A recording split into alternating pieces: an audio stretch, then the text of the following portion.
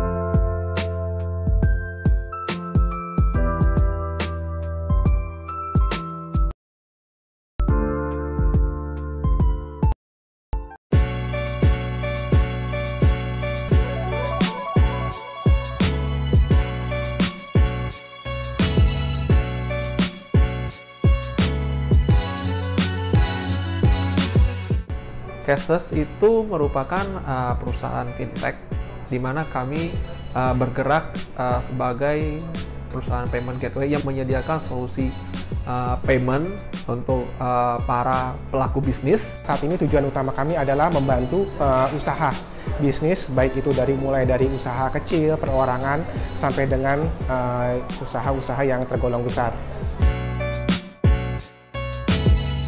uh, mereka tuh kerjanya juga lumayan cepat ya. Lebih cepat dari ekspektasi kita pada tahap awalnya. Jadi kita kira pace-nya cukup uh, uh, harus dibimbing dulu. Ternyata hanya dibimbing sebentar saja mereka bisa maju lebih cepat. Jadi itu yang membuat uh, kita nyaman dengan uh, talent-talent yang di Enigma dan so far kita cukup uh, happy ya dengan uh, talent yang ada di Enigma ini. Ke depannya mungkin ya akan coba kita propose bisa mungkin nambah lagi untuk membantu supaya bisa speed up di pengembangan produk atau uh, sistem di cashless ini. Kontribusi yang cukup baik uh, baik dari sisi uh, pengembangan produk dan juga dari sisi teknologi. Kami cukup terbantu. Uh, iya, tentu saja dengan Equimat uh, talent ini membantu cashless, terutama uh, dalam sisi uh, perkembangan teknologi ya. Karena sebagai startup kita butuh agile, butuh uh, development yang cepat dengan resource yang tepat pula untuk supaya pengembangan bisa berlangsung dengan baik.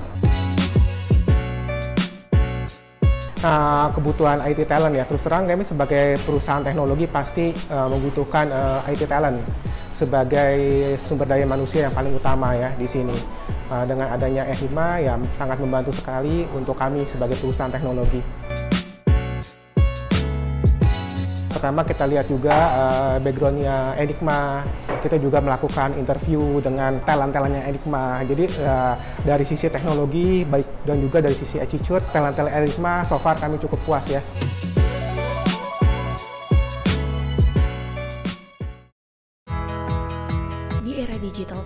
Transformation saat ini terdapat beberapa tren teknologi seperti artificial intelligence, blockchain, big data, autonomous device, enhanced edge computing, cyber security, dan augmented reality. Ini sebagai perwujudan dari tiga solusi pintar dalam menghadapi revolusi industri 4.0, Smart Foundation, Smart Process, dan Smart Connectivity. Kita harus segera bergerak cepat untuk menyambut era digital Mari persiapkan bersama Enigma Camp. Bagi perusahaan yang ingin menjadi mitra atau hiring partner kami, langsung hubungi kontak di bawah ini.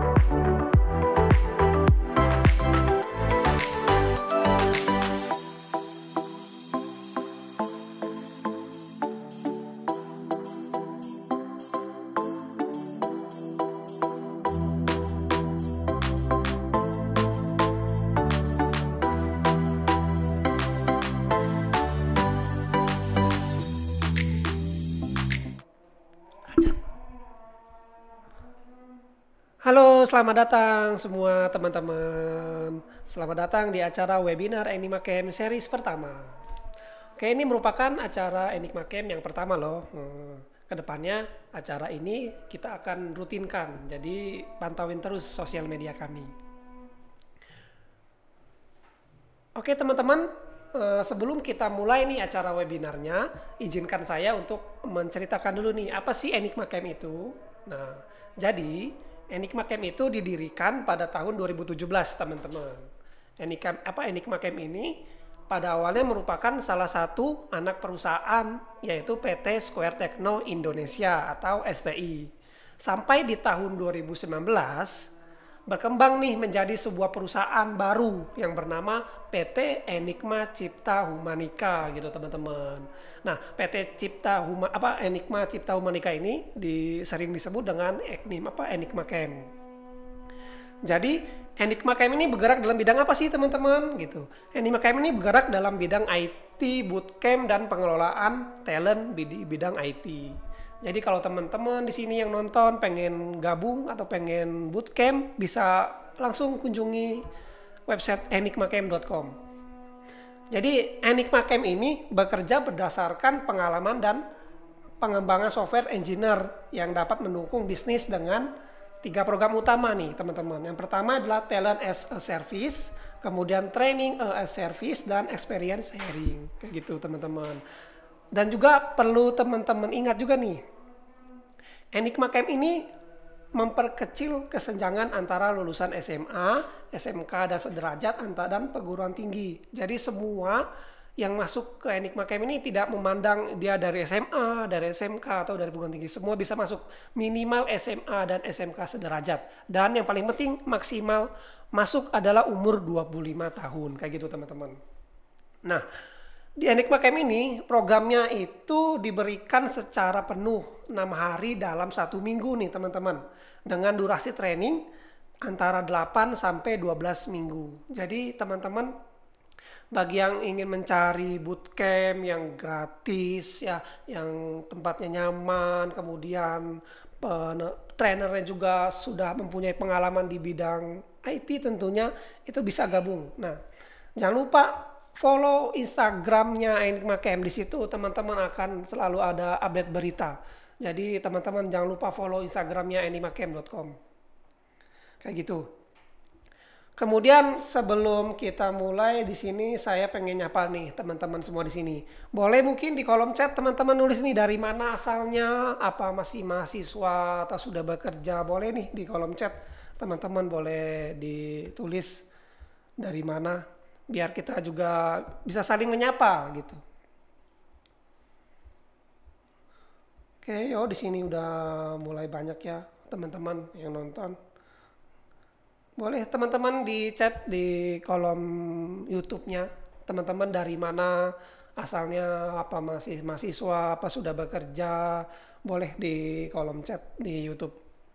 Nah, teman-teman, eh, webinar malam ini kita akan akan membahas mengenai golang. Nah, tentu bukan hal asing lagi ya bagi kita atau programmer lah uh, umumnya.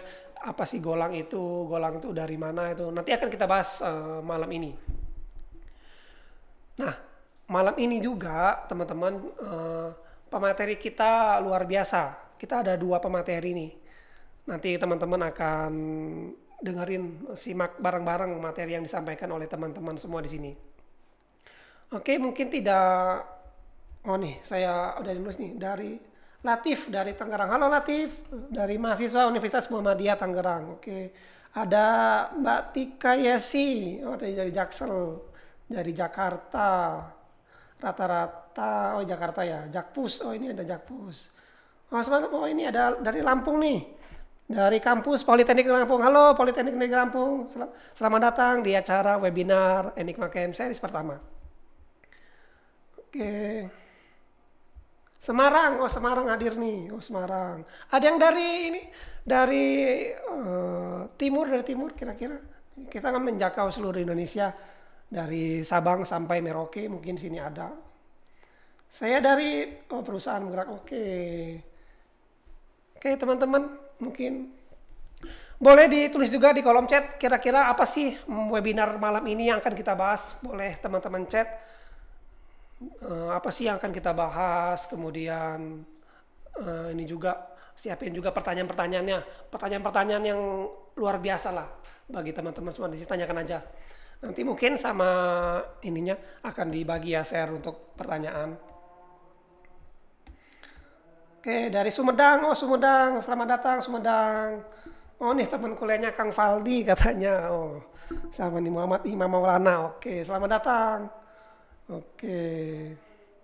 Oke, kita tidak menunggu lama-lama ya. Kita sambut nih dua pemateri kita yang luar biasa.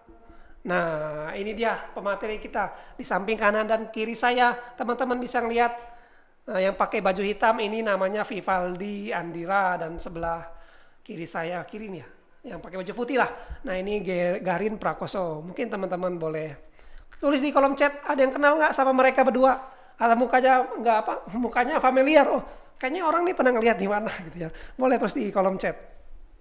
Mungkin ada apa? Nah, atau udah lama nggak ketemu nih sama Gerin dan Valdi. Boleh. Wah ternyata Gerin dan Valdi udah seperti ini udah makin ganteng ya makin sukses gitu. Boleh tulis di kolom chat. Teman-teman boleh, boleh. oke. Gimana kabarnya teman-teman? Enggak. Valdi Gerin sehat? Baik. Sehat, alhamdulillah sehat, sehat. untuk saat ini gimana? masih WFH atau udah WFO Apa nih? Aku. Aku Boleh, sih masih boleh. WFH. Masih full WFH. Oh, full WFH belum tahu sih. kerjanya di rumah ya Yoi. Mm-mm, sama saya, Paldi. Soalnya kan satu tempat juga sama Paldi. Masih WFH. di mana di mana nih di mana tempatnya kalau boleh tahu teman-teman boleh tahu nih tempatnya Oh, di kalau mana? saya di link aja bareng Paldi. Oh, di link aja. Teman-teman pasti tahu nih, link aja. Link aja adalah sebuah startup ya, teman-teman. Pasti teman-teman di sini juga make aplikasinya link aja. Link aja kan sekarang udah bisa untuk bayar apa pun ya. Bisa untuk masuk ke stasiun, ke dam, Bener, bener. udah pakai link aja ya. Be- be- Bener nggak kayak gitu teman-teman? Soalnya saya pernah tuh masuk ke stasiun Damri nih, Damri yang di Jakarta nih. Eh, kok stasiun Damri. Apa namanya? Eh, Stasiun Stasiun stasiun kereta. apa? Ya itulah. Dia masuknya. Iya, masuknya pakai ini. Masuknya pakai eh imani sama scan link aja tuh teman-teman. Jadi Iya. jadi udah gak heran sih link aja. Pasti teman-teman udah pasti Benar-benar. kenal ya. Hmm. Oke, kesibukannya apa nih? Gerin, Valdi selama WFA selain untuk kerja nih. gitu. Karena memang lagi di sini lagi PSBB, kalau saya sih WFH aja ya dari rumah ya. Oh, jadi full full WFA ya? Misalkan nggak selain Iya. kerja nggak ngapain tuh misalnya buat usaha atau apa gitu. Full full WFH. Oh, full WFA. Jadi ini ya Senin sampai Jumat ya? Kan kerjanya. Bener-bener. Untuk Valdi sendiri gimana nih? Ya, WFH paling di rumah juga kan lengkap ada keluarga kan jadi jaga ponakan, main sama ponakan. Iya. Kalau lagi kok kalau udah selesai kerja sih. Enak sih ya kalau di rumah ya bisa kumpul. Oke, teman-teman, Namanya mungkin WFO kan di sini udah nggak sabar pergi. nih.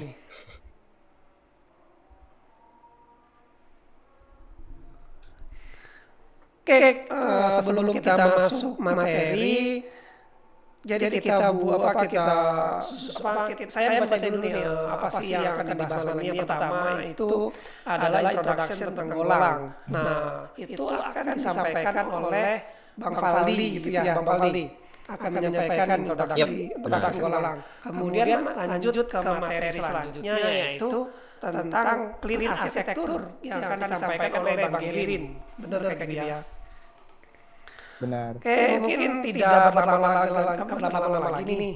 Eh, Kira-kira Bang Ali sudah siap belum nih untuk menyampaikan materi kepada teman-teman semua nih yang menonton malam ini. Waduh, siap siap siap. Oke, oh.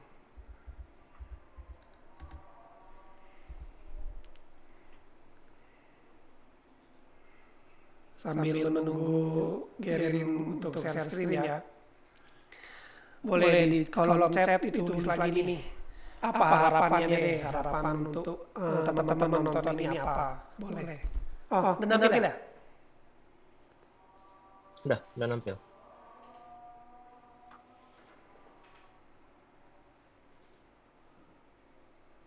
Oke, ya langsung aku mulai aja.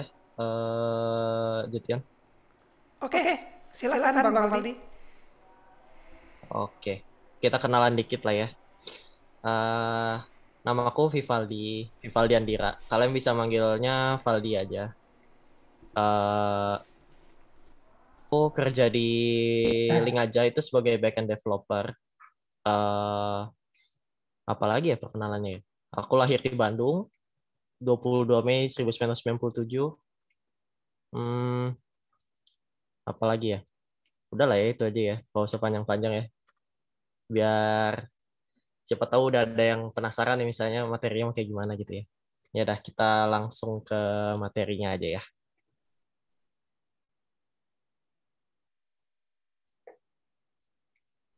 Suaraku ada nggak, eh, Yon?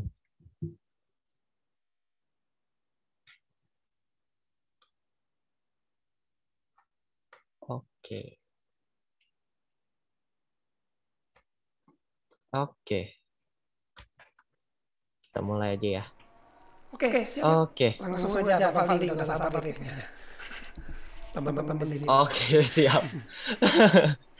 Eh, Oke, jadi eh, ada lima topik eh, yang mau aku bahas. Eh, di sini yang pertama itu sejarah, sejarah juga ya sejarah singkat lah ya. Kedua itu ada kelebihannya dari Go ini itu apa. Eh, yang ketiga itu kenapa sih kita harus milih Golang ini. Keempat itu fitur-fiturnya. Kelima perusahaan-perusahaan yang sudah menggunakan Go. Hmm, Oke, oke. Oke. Kita masuk ke sejarah Go.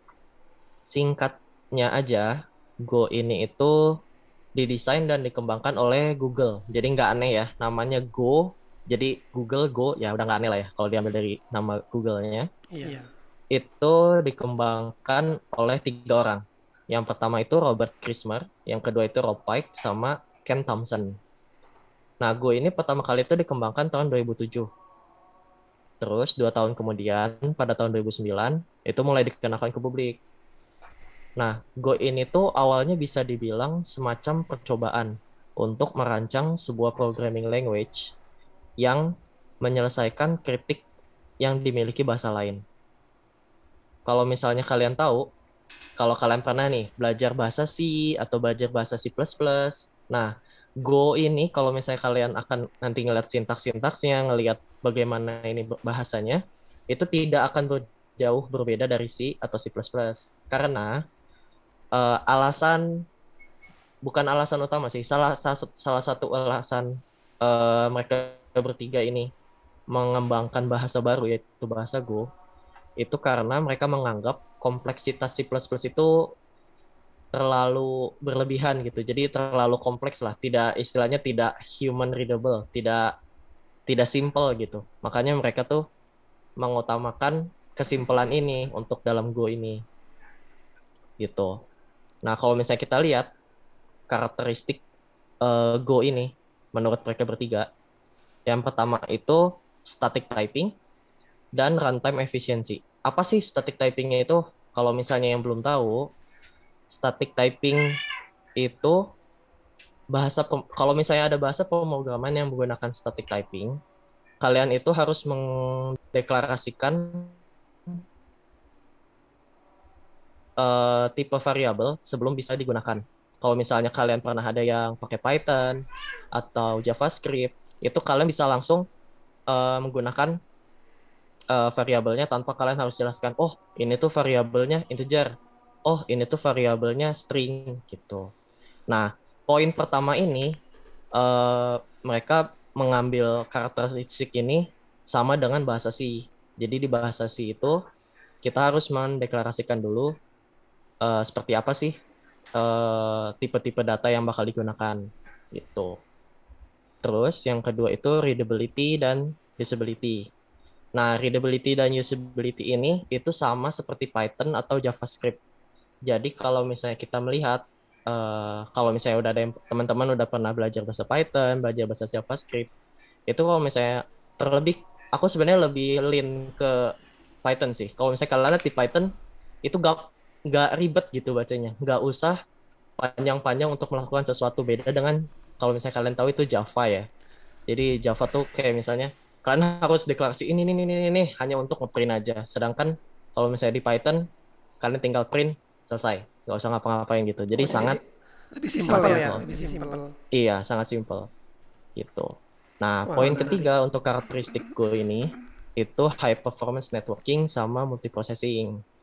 Jadi di Go ini lebih diutamakan untuk uh, networking sama multiprocessing. Multiprocessing ini nanti akan dibantu dengan yang namanya concurrency. Nanti untuk ke uh, ke depannya aku bakal jelasin sedikit lah concurrency itu apa. ya, mungkin bertanya-tanya tuh apa konferensi. Iya. Nah, ini yang tadi aku bilang. Kalau misalnya eh, di Go, Go itu disebutnya static typing. Nah, aku ambil di sini untuk yang dynamic typingnya itu yang Python. Kalau misalnya teman-teman bisa lihat eh, di sebelah kiri, ini misalnya aku punya function namanya hello gitu ya, yang akan mereturn sebuah data bertipe data string. Aku langsung masukin nih, aku bikin variabel namanya world diisi dengan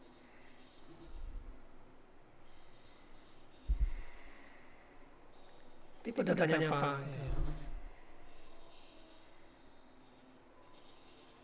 Oh.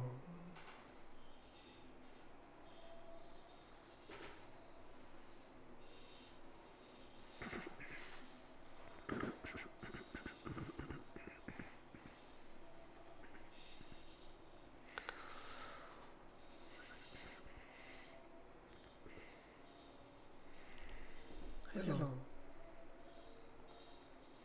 World sama dengan sama kan ya? Ini sama dengan yang di Go. Nah, ini kalau di di Python ini dia menganut istilahnya menganut dynamic typing. Nah, seperti ini makanya kita bisa langsung oh ya udah butuh variabel world ya udah aku buat world sama dengan apa. Aku butuh misalnya variabel angka misalnya.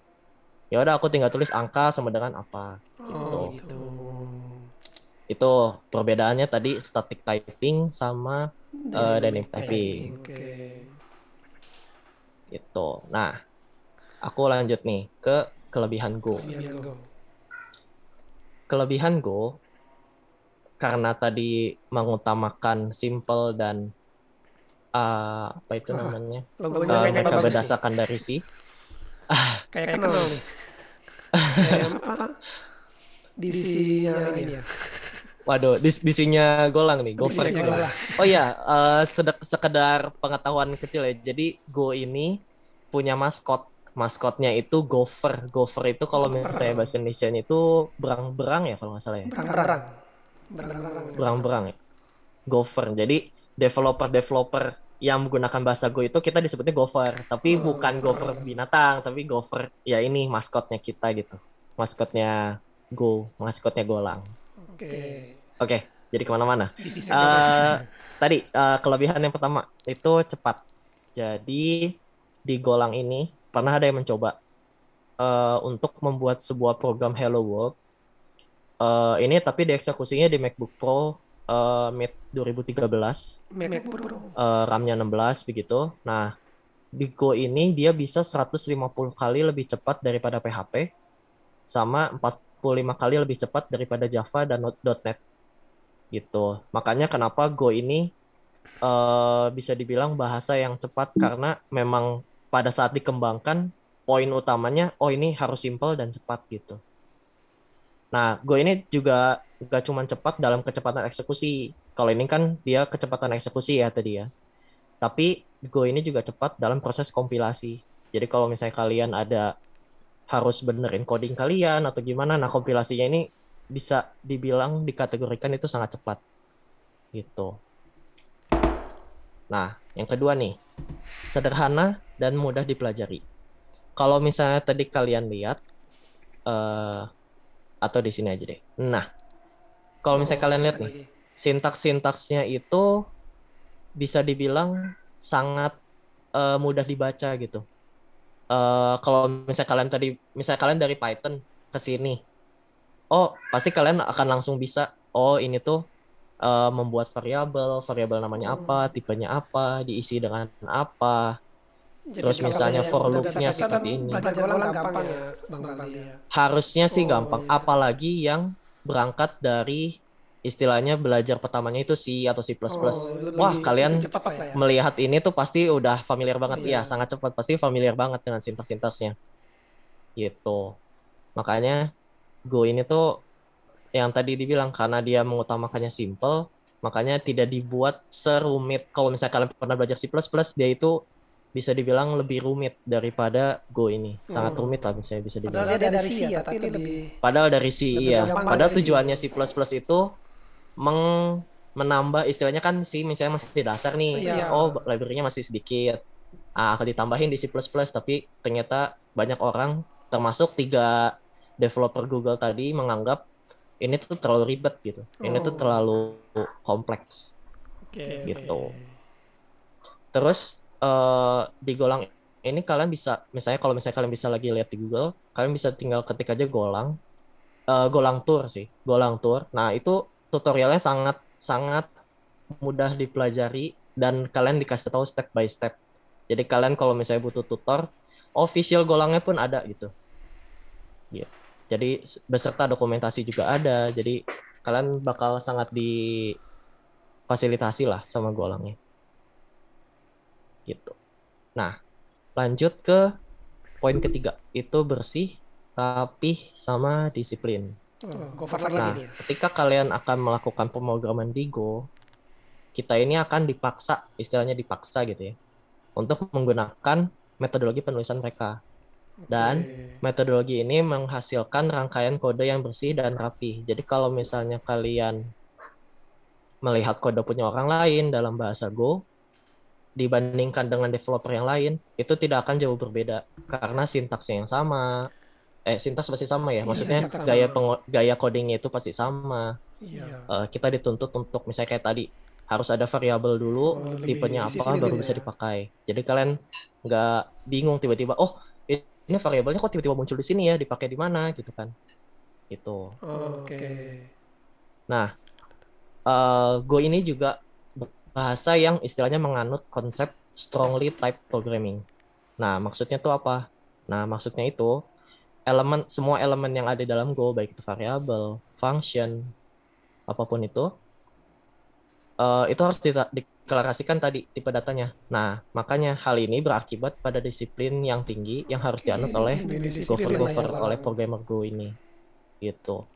Dan kalau misalnya kalian nanti akan mencoba ya di Go ini itu tidak akan ditolerir kalau misalnya ada variabel atau package yang tidak digunakan. Itu pasti akan nanti dimarahin lah istilahnya. Kalian bakal di, oh ini belum nih, belum dipakai variabelnya. Oh ini belum nih, fungsinya nggak kepake gitu kan. Gitu. Nah, sekarang dari kelebihan-kelebihan yang tadi, kenapa sih kita harus pilih Go gitu? Pertama, performance. Jadi, simplicity itu kan tadi ciri utama dari Go ya. Berarti kan compilation itu cepat. Saat dijalankan itu juga cepat. Go itu juga istilahnya cepat untuk dipelajari. Jadi semuanya serba cepat. Nah, performance dari Go ini eh, bisa dibilang cepat. Kenapa? Karena Go itu saat kita compile itu langsung ke mesin kita, langsung ke eh, PC atau ke laptop kita. Hmm. Tidak melalui sebuah istilahnya eh, nggak melewati virtual machine atau misalnya di compile-nya ke mana dulu baru dijalankan gitu. Jadi Jadi langsung benar-benar ya. langsung ke eh, mesin kita atau bisa dibilang ada istilahnya itu namanya low level programming Low level programming. gitu. Em, tapi ini bukan berarti Go itu eh, istilahnya nomor satu nih paling cepat gitu. Enggak, ada bahasa lain yang eh, istilahnya lebih cepat untuk daripada Go ini. Cuman saya bisa bilang Go ini masih dalam urutan-urutan teratas lah untuk kalau dalam kecepatan gitu ya. Gitu. Terus alasan kedua kenapa kita pilih Go itu tadi concurrency. Jadi kalau misalnya di sini aku aku nggak bakal bahas terlalu dalam tentang concurrency, tapi concurrency itu eh, singkat ceritanya kalian eh, ke- istilahnya kemampuan untuk suatu program melakukan beberapa task dalam waktu eh, sebenarnya bukan waktu yang bersamaan sih. Jadi melakukan beberapa task. Nah, mereka tuh bisa ngatur, oh ini yang duluan nih. Oh ini yang dikerjain duluan. Jadi kalian punya prioritas-prioritas. Nah itu concurrency. Nanti kalau misalnya kalian cari lagi concurrency itu biasanya suka dibingungkan, suka dibandingkan dengan namanya parallelism. Kalau parallelism itu kemampuan suatu program buat menjalankan suatu pro- banyak tugas gitu ya, banyak task dalam waktu yang bersamaan. Itu kalau parallelism. Aku nggak bakal bakal bahas terlalu dalam, tapi intinya untuk di Go ini concurrency itu sim- dibuat cukup simple. Aku bisa bilang cukup simple karena kalian tinggal nambahin keyword Go, GO di depan misalnya kalian ada codingan apa gitu ya, kalian dapat eh, kalian jalankan tapi di depannya kalian kasih Go di depan barisnya itu kalian udah membuat satu namanya Go routine. Jadi di concurrency di golang ini diwakilkan dengan namanya Go routine. Gitu. Nanti untuk lebih jelasnya kalian bisa eh, research sendiri untuk concurrency itu seperti apa dan Go routine itu seperti apa. Tapi yang pasti eh, concurrency di golang ini tuh dibuat cukup simple karena dia eh, nggak terlalu ribet lah untuk membuat sebuah Go routine gitu ya. Gitu. Nah, ketiga ada sistem namanya garbage garbage collection. Jadi eh, di golang ini poin utamanya pun dia mengatakan kalau misalnya garbage collection sistem sistem garbage collection di Go ini bagus, cepat gitu. Jadi kalau misalnya kita udah buat programnya, kita udah compile, kalau udah selesai, udah itu akan dihilangkan langsung dari memori. Gak bakal disimpan-simpan tuh sedikit-sedikit di cache apalah segala. Oh, kayak gitu. Jadi eh, memorinya bakal terus tetap ada. Kalau misalnya nanti ada variabel yang nggak dipakai atau bagaimana, misalnya pointer langsung, kita nggak usah eh, menuliskan secara eksplisit, oh hapus Oh, gitu. memori ini gitu. Ada kalau misalnya kalian pernah belajar bahasa C, di situ ada untuk menghapus memori gitu. Jadi itu kita nggak usah secara manual lagi. Gitu. Oke. Yang terakhir itu cross platform and easy to maintain. platform. Jadi kalau misalnya kalian pergi ke websitenya Golang, eh, kalian bisa lihat Golang ini bisa dijalankan mulai dari Windows, Linux, mau distro apa pun, Linux bisa, eh, Mac OS. Kalau kalian di sini sebagai Apple user, misalnya Mac OS itu bisa. Bahkan sistem eh, yang dengan arsitektur kayak misalnya di HP atau di tablet kalian itu bisa Go itu bisa apalagi kalau misalnya kalian pernah dengar Raspberry Pi itu juga ada Golang Raspberry. untuk Raspberry Pi Oh, khusus bisa juga ya. jadi sangat cross platform banget eh, Golang ini gitu nah nah ada satu tools di Golang itu namanya tuh Go FMT Go FMP. eh, singkatan dari Go Format. Nah, Go Format ini berfungsi untuk merapihkan kode-kode yang kita buat supaya lebih readable. oh, Nah, otomatis. makanya kenapa kalau misalnya kita akan lihat kode di Google misalnya, eh, kode kode Golang ini tentang ini misalnya, itu istilahnya spacingnya, eh, misalnya kurung awalnya harus di mana, itu semua bakal sama. Jadi kalian hanya berfokus kepada isi-isinya aja. Makanya eh, kita nggak akan pusing-pusing lah gitu untuk melihat eh, kode orang lain. Oke. Fitur. Aku lanjut ke fitur. Nah, kalau udah ngeliat dari kelebihan, dari eh, kenapa harus pilih Go tadi, ini aku bakal sedikit kasih istilahnya fitur-fitur di Go tuh yang eh, bisa dibilang unik lah, yang paling menarik gitu. Apa itu? Nah, yang pertama itu binaries. Binary. Binaries itu apa? Jadi kalau misalnya kita udah selesai ngoding di Go, terus kita compile nih. kalau udah selesai kita compile itu hanya akan jadi satu file. Kalau kalian compile-nya ke Windows itu akan jadi .exe executable. Kalau kalian compile ke Linux itu akan jadi binary. Sama dengan kalau misalnya kalian compile ke macOS juga itu bakal binary. Beda. Jadi tinggal dijalanin selesai. Nggak usah kita harus sediain eh, package ini, kita harus sediain copy dulu misalnya dependensinya apa gitu. Kita harus install dulu itu enggak. Tapi karena dijadikan dalam satu file ini makanya eh, Go ini bisa dibilang kalau udah di-compile filenya nggak besar banget tapi nggak kecil banget gitu. Karena besarnya kenapa? Karena tadi library-library-nya yang digunakan itu udah jadi satu paket gitu. Oke. Nah, yang kedua, powerful standard library.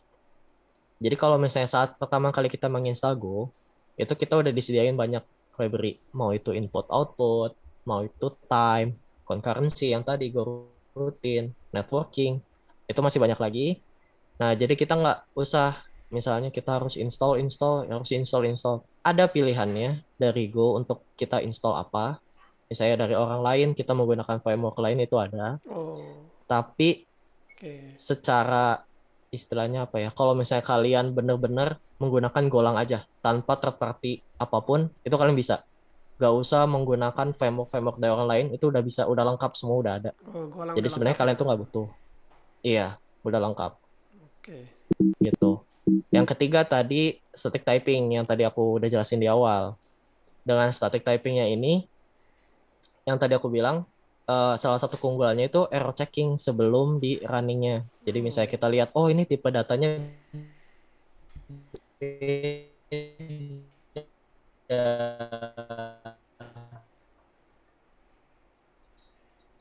oh ini tipe datanya tuh belum dijela belum di Terus keempat itu ada concurrency support. Yang tadi aku jelasin, eh, di Go itu concurrency itu sangat dipermudah dan relatif itu nggak ribet. Oke. Jadi kita nggak harus setting banyak nih, harus setting ini buat eh, meng- menggunakan concurrency di sini gitu. Dan Go Routines ini bisa dibilang ukurannya itu sangat-sangat kecil. Bisa kalau misalnya ada yang aku coba-coba searching itu ada yang bilang oh nggak masalah kita mau jalanin seribu routines pun nggak masalah karena ukurannya itu yang tadi kecil Oke. gitu. Nah poin terakhir di sini testing support. Testing. Uh, testing dalam Go ini tuh udah built in, udah disediakan. Kalian tinggal cukup jalanin Go spasi test itu udah jalan. Itu udah Otomatis kalian udah bisa ya. uh, bakal otomatis jalan. Tapi ya tetap aja kalau untuk uh, skenario skenario testingnya itu lagi. harus kita buat secara manual Oh, iya. karena memang ya karena memang kan kita harus tentukan nih unit test Iya. yang mau kita jalan itu apa gitu. Tapi kita nggak usah uh, ngambil lagi dari orang buat testing itu udah ada Oke. Menarik ya teman-teman. gitu. Nah, nah kalau misalnya teman-teman ada yang penasaran nih, oh kira-kira perusahaan apa aja sih yang udah pakai Golang ini? Yang pertama dan tidak aneh adalah Google. Ya. Untuk lebih spesifiknya, eh iya karena soalnya kan tiga Karena yang developer ya. ini justru membuat bahasa, iya membuat bahasa yang mereka kita- dari dia pakai. Google, mereka ngebuat juga untuk Iya. Google. Iya. Nah, untuk spesifiknya ini YouTube. YouTube, Oh, YouTube. itu ada beberapa bagiannya yang eh, menggunakan Golang gitu. Oh. Nggak nggak full, nggak full Jadi Golang. banyak bahasa banyak bahasa dalam ya. satu aplikasi ya. Iya, kalau nggak salah aku baca tuh ada Python, Oh, ada Python. .NET gitu kalau nggak salah. Golang pun salah satunya. Java mungkin masih ada juga. Wajar sih ya kan. Java ini memang ya, masih- pasti banyak yang di Iya, pasti pasti banyak itu bakal pakai apanya. Karena kan yang tadi Golang ini karena dia spesifiknya cuman di performance dan networking gitu, nggak bisa ini semua untuk oh buat aplikasi desktop yang nggak bisa pakai Golang gitu. Oh. Karena bukan bidangnya lah Bidang. istilahnya. Iya.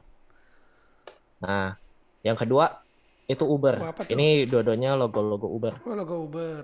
Iya, di. Uber ini juga iya, karena di Indonesia nggak terlalu ini ya, nggak terlalu populer Uber. Waktu dulu ada ya kalau Iya, salah Uber ada. tuh, cuman, Cuman nggak ini. Udah. nggak nggak berkembang kayak Gojek, Grab gitu ya. Wah. Ini Uber. Terus Twitch. Oh, Twitch. Nah, kalau misalnya ada yang belum familiar nih sama Twitch, jadi bisa bisa dibilang Twitch tuh platform untuk live streaming aja, Oh, bukan kayak streaming. YouTube. Iya, kalau YouTube itu kan eh, kalian bisa upload video, kalian bisa live streaming juga. Jadi Twitch Nah, kalau di Twitch ya. itu, iya untuk live aja. Dan di Twitch ini dia juga ada eh, beberapa istilahnya beberapa service yang menggunakan golang gitu. Oke. Mantap. Ini Twitch. Di Twitch. Twitch ini un- untuk di Indonesia tuh emang kurang populer ya. Cuman saya pernah Eh, lebih- pernah itu pernah dengar tuh Twitch. Saya sering pakai juga tuh kayak Twitch ya? gamer-gamer. YouTuber YouTuber Iya, nah, ya biasanya ya. Twitch Oh, Mhm. gratis kayak. Biasanya suka dipakai buat itu. Gratis. Sama kayak YouTube juga kok gratis. Gitu. Terus kalau misalnya ada yang tahu Dailymotion sama Medium. Di Medium ini kalau misalnya kalian sering buat artikel, buat tutorial harusnya udah nggak asing, Oh, nggak iya. asing sih Nggak asing sama lah kalau Medium ini. programmer ya. Mm-mm. Cuma programmer sih ya, banyak ya yang pakai Medium. Iya. Nggak, nggak, nggak harus di program sih. Iya. Cuman kalau misalnya kita kadang-kadang misalnya searching nih, gimana caranya ini? Pasti ada aja satu atau dua medium tuh pasti ada Oh, iya. yang ngebuat artikel di medium tuh. Gitu. Itu perusahaan-perusahaan yang udah pakai teknologi Go ini. Itu. Ya. Oke. eh, Wah, begitu sih Kak? materi dari aku. Iya. Aku aku cuman kirain kirain masih banyak. Oke. Ya, jadi sekian materi dari aku aja. Jadi begitulah eh, Golang tuh bisa dibilang simple dan kalau misalnya aku boleh share pengalaman sedikit, aku tuh baru belajar Golang itu bulan um, Ap Mei ya, Mei atau April gitu kalau nggak Mei salah. tahun berapa aku itu? tuh baru belajar itu 2020, 2020. Baru 2020 kemarin. Iya, baru 2020 tapi kemarin. Makanya link- link aja eh, mantap tapi iya begituan lah bisa masuk sini. Ya, jadi makanya kenapa aku bilang aku juga berangkat dari bahasa si gitu. Makanya dari dari kuliah ya. kenapa bahasa saat sih aku ya. melihat atau saat belajar golang ini tuh mm-mm, pas kuliah aku bahasa si terus belajar golang eh kok nggak beda-beda, nggak jauh beda gitu kan. Jadi lebih belajar ke fitur-fiturnya yang di golang tuh apa sih gitu kan. Si juga saya yang dapat sih yang baru-baru yang nggak ada di sini. si si Gitu. plus plus sama si sub Um,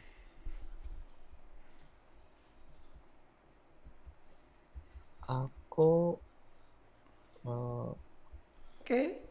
udah sih paling aku udah. eh, itu aja. Aku balikin ke Jetion aja deh. oke.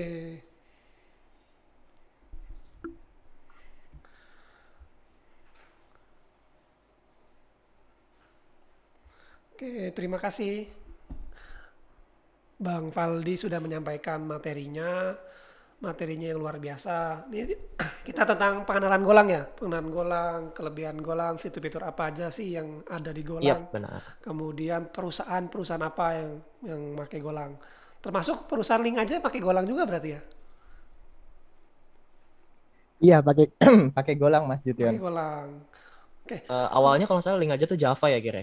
Iya. Eh, teman-teman di sini yang nonton saat ini, kalau misalkan ada pertanyaan, teman-teman boleh tuh eh, klik link yang udah dibagiin sama adminnya. Teman-teman situ boleh nanya apa pun, tapi tentang materi malam ini. Kayak gitu. Nanti di akhir sesi kita akan jawab semua pertanyaan teman-teman. Jangan lupa teman-teman sebutin namanya sama pertanyaannya. Kayak gitu tanya di link yang dikirim sama admin di ini di Slido. Oke, materi berikutnya. Ini yang materi paling inilah ya, paling paling harus harus ada sih sebenarnya di bahasa pemrograman. Clean arsitektur. Jadi di Golang juga ada namanya clean arsitektur. Nah, ini Pematerinya yang akan disampaikan adalah Gerin Prakoso. Di mana Gerin udah siap untuk menyampaikan materinya? Sudah siap Kak Jution? Oke. Oke, eh, terima kasih Kak Jution, Kak Faldi. Eh, perkenalkan nama saya Garim Prakoso. Hmm, Saat ini saya bekerja di Link aja sebagai backend developer eh, bareng Mas Faldi juga. Nah, saya belajar Golang itu s- sejak Mei tahun lalu, jadi kayaknya udah satu tahun. Nah, eh, di sini saya mau sedikit sharing-sharing nih eh, mengenai clean arsitektur di Golang. Eh, mungkin nanti tidak akan terlalu dalam untuk teorinya, biar nanti kita akan lebih fokus di tanya jawab aja kayaknya ya. Sebelumnya, misal kalau saya ada salah-salah kata dalam menjelaskan, mohon dikoreksinya ya. Karena eh, saya yakin pasti banyak teman-teman di sini juga yang lebih jago. Eh, oke, mari kita mulai aja ya.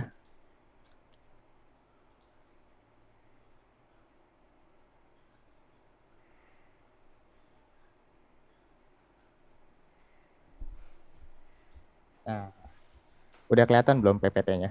Udah, udah. Oke, eh, judulnya Introduction to Clean Architecture with Golang. Nah, eh, pasti kan banyak yang mungkin ada yang belum tahu apa sih clean architecture itu. Ya, apa sih clean Singkatnya, architecture itu? heeh, clean architecture itu sebenarnya eh, proses menyusun sebuah struktur project ya, agar lebih mudah di-develop dan mudah di-maintenance juga. Kalau katanya Uncle Bob sendiri, dia itu adalah autor dan penulis buku yang berjudul Clean Architecture. Nah, clean Architecture itu eh, ngebuat sistem atau aplikasi backend kita, khususnya Golang, itu jadi lebih mudah untuk dimengerti oleh developer lain. Gitu Oh, Oke.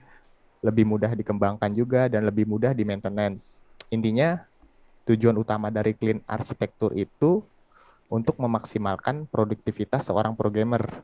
Jadi ketika ada developer lain yang ikut ngedevelop program backend kita, jadi eh, lebih mudah mengerti flow-nya dan waktunya akan lebih banyak terpakai untuk mengembangkan sistem gitu. Oh, lebih dimudahkan lah ya dengan memakai eh, architecture ini. jadi lebih mudah dimengerti lah. Soalnya kenapa sih clean architecture gitu? Hmm, bayangkan ketika mendevelop sebuah program backend dan semua prosesnya itu diletakkan dalam satu file, mulai dari nerima request dari front end, eh, terus bisnis proses, akses ke database, emang eh, tetap jalan programnya, tapi nanti semua sintaksnya akan ngumpul di satu file eh dan pasti akan sulit untuk dibaca flow-nya nanti. Jadi kalau makin banyak ya makin ini ya, filenya makin Semak- barisnya makin iya. banyak. Semakin Itu sulit kita nge-trackingnya ini ada seribu baris. Wah, seribu baris. Kalau ada error susah juga nyari. Iya, selain sulit dimengerti flow-nya, eh, aplikasinya juga jadi lebih sulit di maintenance. Oh, Sulit juga dibuat unit testingnya. Tracking bug-nya juga sulit. Dan bahkan bisa jadi eh, developer dulu yang mendevelop program backend-nya, ketika ditanya itu, udah lupa gimana flow aplikasinya. Oh iya, Nah, saking banyaknya. Iya. Terus gimana solusinya? Nah, satu-satunya cara ya antara diselesaikan di UFC atau Waduh. kita bisa tinju. mengaplikasikan clean arsitektur, Oh, eh, Mas oke. Juti, teman-teman. Terus gimana sih gambarannya gitu atau flow-nya? Ah, di ini kita bisa mengaplikasikan clean arsitektur ini dengan cara eh, memecah proses ya di dalam aplikasi backend itu menjadi beberapa layer. Oh, Kalau iya. tadi kan semuanya itu dijadi satu di dalam satu Ya, file ya, tadi teman-teman. banyak, bener ya barisnya sampai seribu. Oh, oh, sampai seribu baris. ini dipisah gitu ya maksudnya. Dipisah. Oh, Nah, oke. yang nantinya layer-layer ini memiliki fungsinya masing-masing gitu. Ah, dan tidak terikat dengan layer satu dengan yang lain. Kalau di sini saya simulasikan, ah, misal kita punya aplikasi front end ya, website ya, yang ngehit ah, backend kita. Backend kita ini terdiri dari tiga layer. Tiga Nah, layer. fungsinya ini apa aja sih? Nah, coba kita simulasikan kalau ketika front end itu ngehit uh, back end, dia Oh, pasti akan masuk ke delivery, Delivery. layer dulu. Nggak bisa langsung ke use case atau repository. Nah, fungsinya delivery layer ini apa sih? Dia itu eh, tugasnya untuk ngevalidasi inputan dari depan tuh. Eh, karakternya apakah sudah sesuai gitu. Nge-parsing JSON-nya juga diubah kan. Jadi struct jadi biar bisa diproses. Terus tugasnya juga nge-return HTTP resto- response ya. Misal HTTP 200 kan teman-teman pasti udah Iya. familiar pasti Familiar lah, TTP Oh, 200. oh. Contoh paling simpelnya ngevalidasi inputan nomor HP lah gitu. Apakah sudah 12 digit? Nah, Oh. Kalau misalnya belum sesuai dibalikin eh, ke depan lagi kalau eh, belum ini belum bisa Kasih error. Informasi ya, nomor Iya. belum sesuai format. Belum sesuai belum gitu. 12 karakter gitu ya. Heeh. Nah, eh, terus ketika delivery delivery layer itu sudah oke, masuk ke use case layer. Nah, Use case. use case layer ini eh, fungsinya apa sih gitu? Di sini eh, murni isinya hanya bisnis proses, logik dan olah data. Kalau saya contohkan ketika misalkan transaksi beli barang ya contohnya, itu perhitungan eh, harganya apa diskonnya, diskon misal 10% gitu jadi 10%. berapa harganya, heeh. Itu dilakukan di use case layer. Use Jadi case. Oh. Fungsinya eh, murni hanya urusan logik-logik lah. Logik. Jadi inti heeh, di dalamnya itu nggak ada delivery layer ini nggak ada Yang jadi fungsinya, logic logik. Ya. Sebenarnya eh, bahasa layer-layer ini sih beda-beda ya. Orang lain ada yang namain ini service layer gitu.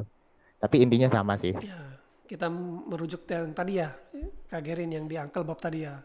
Iya, bener. Terus kalau di les- use case layer ini udah oke, dia akan lanjut ke repository repository layer. Nah, ini eh, fungsi layer ini apa sih? Di layer ini itu eh, fungsinya murni hanya untuk komunikasi ke database. Komunikasi. Isinya itu query-query. Jadi, Jadi di dalamnya- berhubungan dengan database repository ya. Iya, repository layer. Jadi di dalamnya itu murni, nggak ada logic lagi. Intinya tinggal Ya, data yang tinggal dimasukin ke ya, database. Tugasnya Oh, oh. masing-masing. punya tugasnya masing-masing. Oke. Terus kalau misalkan aplikasinya itu microservice, pemanggilan API ke service lain pun bisa dilakukan di repository layer. Oh, apalagi tuh microservice Tika. Nah, itu eh, nanti aja. Oh, nanti aja. Nah, Oke. nanti kalau di repository layer ini udah oke, dia akan lanjut masuk ke database. Database. Jadi memang eh, memiliki layernya masing-masing lah, punya fungsinya masing-masing, nggak dijasa nggak dijadi satu satu tempat gitu. Tapi kalau dijadi satu di satu tempat ter berantem sama developer Ya, yang lain. berantem. Heeh. Pakai mana nih saya yang mana nih, mana saya yang mana kayak gitu ya. Iya. Nah, terus kan tadi saya sempat nyinggung eh, kalau antar layer itu nggak boleh terikat gitu ya. Ya. Maksudnya gimana terikat. sih? Heeh. Eh, kalau kita simulasikan, misalkan ini masih sama kayak yang tadi, cuman kita langsung ke use case layer aja. Oh, iya. Ketika Use kita case. ingin membuat unit test layer, itu kan pasti, eh uni- unit test untuk use case layer, pastinya kan nanti kita bakal memanggil function yang ada di repository layer ya. Mm-mm. Dan repository layer ini manggil ke database. Ini kan berarti eh, layer-layer antar layernya ini saling terikat.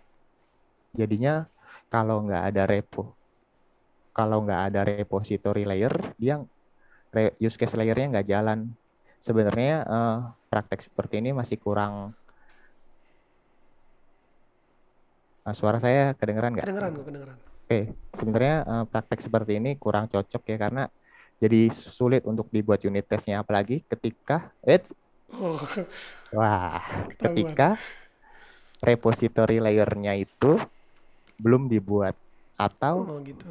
bisa jadi ketika database-nya itu belum nyala Oh, itu unit testnya use case layer ini jadi nggak bisa jalan Kalau Eh, terus- itu nggak hidup ya.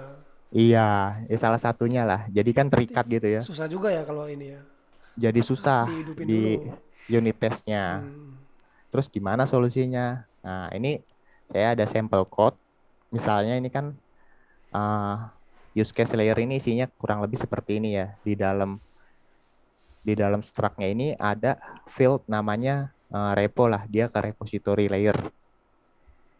Nah, tipe datanya apa? Tipe datanya itu ini interface.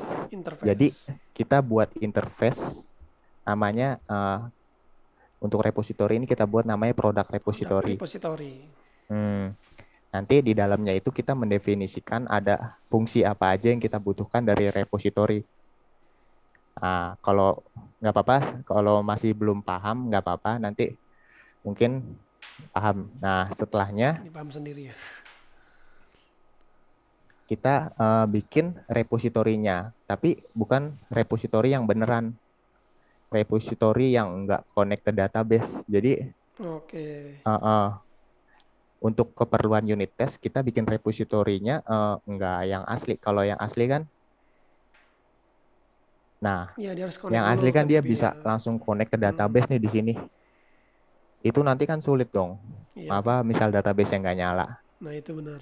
Nah, itu itulah fungsinya interface dengan kita repositorinya ini menggunakan tipe tipe datanya interface kan di produk produk repository ini interface ya. Jadinya si repository ini bisa diisi antara produk repository yang bohongan atau yang asli. yang beneran. Heeh, syaratnya adalah yang penting si repositorinya ini punya function ya atau metode kalau di Golang namanya punya metode yang sama seperti di Oh, interface ini. Harus sama. ya? Seenggaknya, heeh, Oke. seenggaknya punya. Nah kalau ini kan dua-duanya ada nih find product Iya, di bawah juga ada product. find product. Nah jadinya dia bisa masuk ke sini nih. Oke. Kalau dia nggak punya find product nggak bisa dimasukin ke product repository interface di sini. Tuh. Nah, jadi use case layer dan repository layer ini jadinya nggak terikat sehingga memudahkan dalam membuat unit test. Walaupun repository layernya belum ada, kita bisa mocking tuh. Bisa bikin repository bohongan Oh, yang isinya itu mungkin kalau find product kita bisa langsung ngebalikin aja produknya namanya apa bohongan. ya, namanya apa. Heeh. Yang penting kan kita unit testnya use case-nya doang. Iya, benar. Benar. Sesuai kebutuhan apa yang dites. ya. Heeh. Nah, mungkin seperti itu aja singkatnya untuk teorinya. Oh, untuk teorinya. Berarti ada Nah, lagi nih untuk- kayak. Project strukturnya sendiri nih saya merujuk coba di ini punyanya Kanedi dia salah satu back-end developer juga di Indonesia. Ini di salah satu repositorinya ada Golang Clean Architecture. Nah, di sini juga dijelasin bahwa di uh, pro, di back-end ini aplikasi back-end ini punya tiga layer juga controller. Nah, di sini service sama aja kayak use case sih, cuman beda bahasa aja. Oh, tapi sama-sama ya fungsinya. Mm-mm. Controller ini ya sama aja kayak delivery dia eh, HTTP berhubungannya yang handle request tapi cuma beda bahasa aja itu nggak apa-apa. Nah teman-teman bisa kalau memang pengen pelajari projectnya itu bisa search di Google ini namanya Kanedi. Kennedy, Golang. Ah, ah, orang ganteng dan intelek ini tulisannya. Nah nama project itu Gola- Golang Clean Architecture. Ini kalau saya buka projectnya. Kurang lebih isinya seperti ini. Tuh. Oke. Nah, untuk produk kelihatan kan di sini ada tiga layer controller, Controller, repository, sama service. service. uh, sama seperti yang tadi dijelaskan. Kalau kita lihat di sini controller ini atau delivery bisa juga itu isinya cuman HTTP respon aja. Hmm. No. Jadi hubungannya hanya HTTP respon aja sama parse ngeparsing uh, JSON-nya. Jadi nggak ada hubungannya sama bisnis proses. Setelah itu, kalau kita lihat di sini dia ngoper ke service, produk service tuh. Produk service. Ah, ah. setelah oke dioper ke produk service di sini. Nah, di sini kan eh, hubungannya hanya eh, bisnis proses ya, Bisnis semua di situ ya. Ah, ah, logic-logic. Jadi kalau misalkan di eh, use case ini udah oke, dia dioper ke repository di sini. Tuh. Nah, ini yang berhubungan dengan database-nya langsung ya. Ah, ah. query-querynya di sini. Nah, ini kebetulan pakai Mongo, MongoDB. Oh, MongoDB. Oh. Nah, jadi uh, kesimpulannya intinya yang ingin saya sampaikan, uh, kalau uh, prosesnya itu uh, dipisah-pisah, nggak dijadi satu di dalam satu file gitu, satu file product.go isinya uh, use case controller apa segala macam di sana semua itu nggak nggak kayak nggak best practice lah. Hmm, ya. Nah, jadi uh, bisa dipisah-pisah. Nah, mungkin itu dari saya. Jadi kita uh, kalau ada pertanyaan bisa langsung ditanya aja. Oke. Okay. Uh, Oke. Okay. Ini saya mau stop share. Oke, okay, stop share. Udah selesai ya, Kak Gary. Mm -mm. Terima kasih teman-teman. Oke. Okay.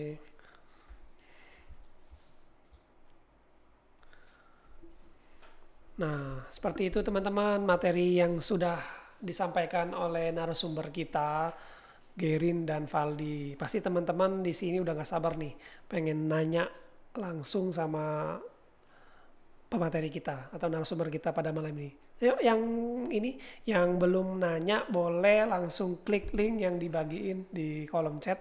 Teman-teman boleh nanya di situ. Sebutin jangan lupa nama sama pertanyaannya tentunya apa. Oke, sambil teman-teman yang lain bertanya, di sini ada pertanyaan sudah masuk ya. Mungkin saya bantu membacakan. Pertanyaan pertama itu dari Muhammad Fikri. Muhammad Fikri. Dia bertanya nih, nanti boleh siapa aja yang menjawab ya. Boleh Gerin, boleh Valdi, boleh. Pertanyaannya, untuk segi keamanan sistem, gimana ya di Go? Seperti itu. Mau ditampung dulu atau langsung dijawab Um, tampung dulu boleh. Oh, tampung dulu boleh. Kayaknya Gerin udah gatel tuh udah pengen gatel pengen, pengen jawab ya. Oke, mungkin tiga, tiga pertanyaan dulu ya. Tiga pertanyaan dulu nanti jawab, kemudian tiga pertanyaan lagi. Kemudian pertanyaan selanjutnya dari Muhammad Rizka Afnan. Salah satu layar utama yang namanya use case itu maksudnya apa ya kak? Oke. Kemudian yang terakhir nih dari Angga Raditya. Memory consumption-nya gimana? Sudah jelas nih Kak Gerin sama Valdi. Oke, sudah jelas, sudah bisa dijawab atau? Oke, boleh nih siapa duluan yang mau jawab? Boleh pertanyaan Fikri, boleh pertanyaan Rizka, boleh pertanyaan Angga Raditya. Gerin dulu boleh. Oke, saya coba jawab uh, tadi Muhammad Rizka Afnan ya. Salah satu layer utama yang namanya use case itu maksudnya apa? Uh, seperti yang dijelaskan tadi, use case layer ini kan punya tugasnya khusus untuk nanganin bisnis proses gitu. Logic dari aplikasi uh, backend kalian. Jadi kalau misalkan uh, transaksi keuangan itu pengurangan-pengurangannya itu ada di dalam uh, use case atau ketika melakukan pembelian barang dan memakai voucher itu uh, dilakukan perhitungan diskon-diskonannya itu di use case gitu. Jadi nggak ditaruh di layer yang lain, tapi di use case. Oh, seperti itu. Mm -hmm. Itu pertanyaan Muhammad Rizka ya? Iya. Oh, Oke. Okay. Seperti itu ya Muhammad Rizka, semoga pertanyaannya terjawab.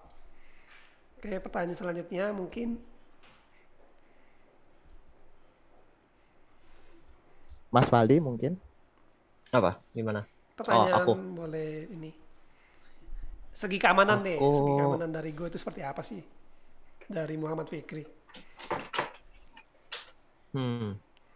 Kalau untuk aku pribadi, untuk keamanan di Golang ini tuh keamanan gimana ya? Maksudnya keamanan data kah?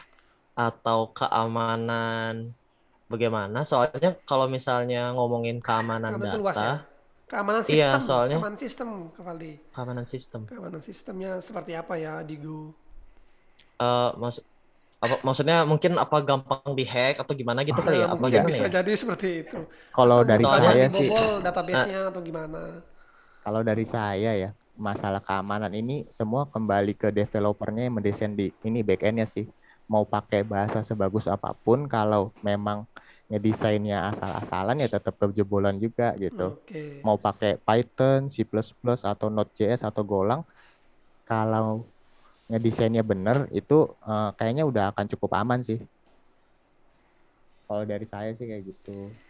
Aku ada satu tips sih. Jadi kalau misalnya di Golang, kalau misalnya kalian eh, pernah belajar Java, di Java tuh kan kita disebutin ya, eh, kita harus nulisin ini tuh private, ini tuh eh, apakah dia public atau apakah eh, pokoknya kita harus tentukan itu. Jadi misalnya private atau public. Nah kalau misalnya di Golang itu nggak ada yang namanya private sama public itu, tapi eh, itu secara eh, otomatis akan direcognize sama Golang kalau misalnya kalian menggunakan misalnya ya kalian variabelnya huruf eh, depannya itu besar. Nah, itu berarti itu public. Itu kalian bisa akses eh dari package mana pun itu bisa diakses dari luar. Tapi kalau kecil itu private, hanya bisa digunakan di package tersebut. Oh, Itu kalau di Golang. Pembedanya itu ya dari huruf depannya. Pembedanya itu. besar atau kecil. Nah, jadi untuk dari keamanannya, kalau misalnya kalian membuat program, kalian harus bisa pilah-pilah kira-kira yang mana nih eh, variabel atau function yang bakal kalian expose keluar. Kalau misalnya sekiranya nggak perlu, mending di eh, huruf kecil aja biar dia stay di package itu. Jadi nggak akan bisa ada yang ubah. Itu kalau misalnya udah ngomongin eh, apa ya misalnya eh, nanti ada yang ngehack terus misalnya source code-nya kelihatan atau apa misalnya dia bisa inject atau gimana lah gitu. Harusnya sih kalau misalnya di Golang kalian buat private itu kalian nggak akan bisa inject dari Dari luar. package mana pun Oke. dari luar gitu. Oke, Muhammad Fikri, semoga pertanyaannya terjawab ya. Pertanyaan terakhir Semoga nih terjawab. dari Angga Reditya, memory consumption-nya gimana ya? Mungkin Oke. penggunaan kok memorinya ya, eh, atau lebih banyak atau Nah, memori yang Mas lebih Faldi ini mungkin bisa jawab nih. Mas Faldi, Waduh. boleh Faldi lagi jawab. Aku kalau dari pribadi ya, dari pengalaman pribadi, aku pernah coba-coba ngetes. Kayak misalnya eh, kita aku buatnya simple, program simple, cuman ngebuat for loop. Eh, for loopnya itu eh, cuman diulang empat kali. Eh, nah, selama pengulangan empat kali ini, dia bakal diterus-terusin, bakal di loopingin terus lagi, terus-terusan. Oh gitu. Ah, Nah, memory usage-nya ini kalau untuk running yang pertama, looping pertama itu sekitar 7 megabyte itu untuk di RAM-nya, 7 megabyte. 7 megabyte. Nah, di looping keduanya dia nambah jadi berapa ya waktu itu ya? Aku aku nggak ada catatannya sih. Pokoknya nambahnya tuh nggak terlalu jauh berbeda, jadi kayak 7 7 7 nggak itu setiap loopingnya jadi 7 kali 4 berapa tuh? 28 28. ya 28 30 megabyte lah. Itu untuk eh, for looping Eh, tapi for loopingnya juga dia ngemasukin eh, jadi aku ngebuat apa namanya tuh slice array eh, terus dimasukin di append. Udah gitu aja sih simple. Hmm. selama empat kali diulang itu tuh. Nah penggunaannya sih gitu- segitu. Kalau misalnya untuk aku pribadi sih itu bisa dibilang kecil sih Kecil ya ya. kecil sih untuk ukuran program. Ya, tapi kan ini kan simple ya masalahnya program simple yang apa ya, cuman for looping gitu kan apa mas kalau kita dalam real world-nya kan nggak mungkin kan buat program cuman for looping doang kan. Gitu. Itu untuk kalau misalnya yang sampai ya misalnya lagi aku kerjain sekarang itu eh, belum aku lihat sih lognya untuk eh, memory consumption itu persisnya untuk program yang besar-besar itu seperti apa. Tapi dugaan aku sih harusnya kecil ya. Nggak, maksudnya tidak akan terlalu besar lah gitu. Oke. Mungkin itu eh, jawabannya. Semoga diterima jawabannya. Ada. Kemudian sebelum kita lanjut ke pertanyaan selanjutnya, eh, saya pengen menginformasikan dulu nih bahwa Enigma Camp sekarang lagi buka kelas online. Kelas online yang lagi dibuka sekarang, mungkin teman-teman bisa ngeliat ya di eh, layarnya itu ada pemrograman dengan Kotlin baik yang Oh, Kotlin. fundamentalnya sama yang Androidnya. Nah teman-teman boleh tuh ngakses websitenya di premium.enigmacam.com. Langsung aja kalau misalkan teman-teman ini langsung daftar dan jangan lupa harganya juga dijamin murah dan nggak akan nyesel lah kalau teman-teman daftar di course-nya Enigma Camp. Oke. Kita bacain lagi pertanyaan selanjutnya. Kita bacakan dari Slido. Ini ada beberapa yang udah masuk. Pertanyaan pertama nih. Dari Latif Nur Hanifa. Oh, Latif. Oh, ini nanya ini. Dia nanya seleksi penerimaan peserta ini makem kuotanya berapa ya? Nah, Oh. untuk Latif boleh kalau pertanyaan ini mungkin boleh langsung aja ke sosial media Enigma di DM boleh Instagramnya nanti eh, sama adminnya dijawab gitu. Oke, pertanyaan selanjutnya ada nih oh, anonimus. Oh, kayaknya ini nggak nggak ngasih nama nih. Tapi pertanyaannya sih bagus nih. Sebelumnya saya juga mengetahui keunggulan-keunggulan Golang. Namun kenapa ya popularitas Golang itu masih kalah cukup masih kalah cukup jauh dengan bahasa lainnya. Saya ulangin ya. Sebelumnya saya juga mengetahui keunggulan-keunggulan Golang. Namun kenapa ya popularitas Golang itu masih kalah cukup jauh dengan bahasa lainnya. Kayak gitu.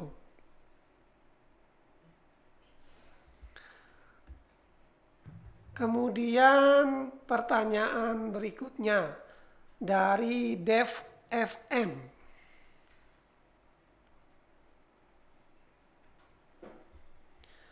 Dari sisi keamanannya gimana ya bahasa pemrograman gue mungkin udah dijawab ya. Kemudian untuk segi kecepatan, itu kecepatan seperti apa? Apakah load data yang banyak atau seperti apa? Mungkin ini tadi yang di pertanyaan ya, yang udah dijawab tadi ya. Oke, lagi dari Fahmi.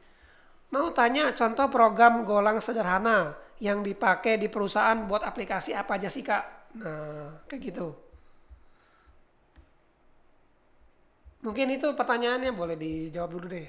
Sambil kita cari lagi nih pertanyaan berikutnya. Boleh Gary atau Valdi boleh menjawab. Hmm. Ya, Um, dulu boleh. Kalau masalah popularitas Golang itu kurang, ini saya masih eh, nggak bisa jawab ya. Tapi kalau saya lihat sih memang masih mau mau berkembang untuk popularitasnya di Indonesia sendiri. Karena memang eh, kebanyakan kan perusahaan itu backendnya pakai Java ya atau enggak Node.js. Karena memang udah mature bahasanya udah dewa- ini udah Udah dari, Um, dari lama ya. Uh, uh, banyak supportnya karena Golang juga masih bahasa baru tapi kalau saya uh, perhatikan di sini sih udah mulai banyak banget yang pakai bahasa Golang kayak Ruang Guru gitu. Um, Tokopedia kalau nggak salah ya atau Grab itu udah mulai pakai Golang. Yang lainnya juga kurang paham kalau ngomongin popularitas ya. Tapi eh tapi nggak masalah bahasa apa pun yang teman-teman pakai. Yang penting dimaksimalin aja biar eh, kalau udah menguasai satu bahasa itu biasanya untuk mempelajari bahasa lain gampang sih Oke. Mm-mm. kalau dibanding-bandingkan ya eh, nggak nggak ada habisnya sih biasanya tergantung developernya juga ya itu kalau masalah aplikasi Oke. Pertanyaan sudah terjawab dari Anonymous. Mungkin Anonymous. Anonymous. Mungkin- ya Anonymous dia namanya Anonymous. Mungkin lupa ngasih nama. Mungkin itu ya jawabannya eh, semoga bisa terjawab. Kemudian tadi tuh Kak Fami, mau contoh program Golang sederhana yang dipakai di perusahaan buat aplikasi apa aja sih Kak? Nah, mungkin tuh contoh sederhana kali. Em, kalau buat contoh program sederhana, mungkin aku paling kasih contohnya jenis kali ya. Soalnya biasanya itu kan, eh, jadi gini, sekalian ngejawab juga sih yang tadi popularitas, Iya, nambahin boleh, dikit. boleh. Jadi Golang ini tuh justru eh, aku bukan aku bukannya nggak setuju ya, cuma maksudnya justru aku malah nganggapnya Golang ini tuh lagi eh, naik-naiknya. eh tapi untuk naik eh, lagi naik-naiknya ini di perusahaan-perusahaan yang eh, sedang menuju ke arah microservice. Oke. Jadi eh, Golang ini memang istilahnya populernya itu di kalangan orang-orang yang mau ke microservice. Makanya eh sebenarnya kalau bisa dibilang populer atau nggak populer, uh, mungkin secara nggak sadar di perusahaan yang kita dengar udah pakai Golang gitu. Soalnya kan kita nggak tahu uh, mereka pakai bahasa apa aja gitu. Cuman aku nggak bisa aku nggak bisa pastiin uh, Golang ini uh, dipakai di perusahaan sebanyak apa. Uh, walaupun kalian kalau misalnya kita kayaknya kalau misalnya kita cari uh, chartnya mungkin ada kali ya Golang keberapa digunakannya berapa gitu. Cuman kalau bisa aku bisa pribadi bilang Golang emang lebih populernya itu di kalangan yang microservice. Oke. Okay. Nah, karena di microservice, ngejawab yang tadi, yang program sederhana, uh, paling aku kasih jenisnya itu, uh, kalau misalnya kalian sering dengar uh, REST API, to, ya, uh, API. Nah, Golang ini memang apa ya istilahnya, paling paling banyak, paling populer digunakan itu untuk ngebuat REST API balik baik REST API-nya itu REST API yang biasa atau REST API yang uh, arsitekturnya microservice tadi karena tadi yang Golang sama microservice itu kan. Gitu. Jadi paling kalau untuk jenisnya sih paling populernya REST API dan itu udah bis aku bisa bilang uh, program sederhana kali ya. Maksudnya soalnya uh, sederhana di sini REST API nggak harus uh, kalau kalian tahu istilahnya CRUD CRUD nggak harus CRUD gitu. Maksudnya yang penting misalnya kalian buat slash hello, hello. keluarin hello world gitu. Uh, emang Golang ini yang tadi aku jelasin karena di networking tadi networking sama REST API itu berhubungan nah ya jadi memang uh, program kalau aku bisa kasih contoh programnya sih jenisnya sih itu REST API salah satunya oke okay. Oke, semoga terjawab nih pertanyaan dari Kak Fahmi dan Kak Anonymous. Anonymous. Ya, oke. Uh, sebelum itu, sebelum kita cari lagi nih pertanyaan, saya pengen ngasih tahu lagi nih bahwa ini Anima Camp ini nggak cuma sebagai IT Bootcamp, tapi kita juga menyediakan course-nya, course-nya yang tentunya bahasa pemrograman yang diajarkan yang populer saat ini. Yang sedang aktif saat ini yaitu tentang Kotlin tentunya Kotlin teman-teman pasti tahu lah.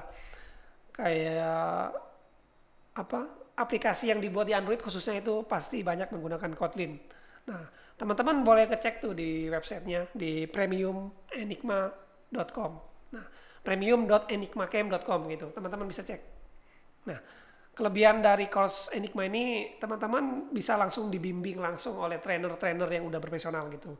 Jadi teman-teman langsung bisa interaktif lah gitu.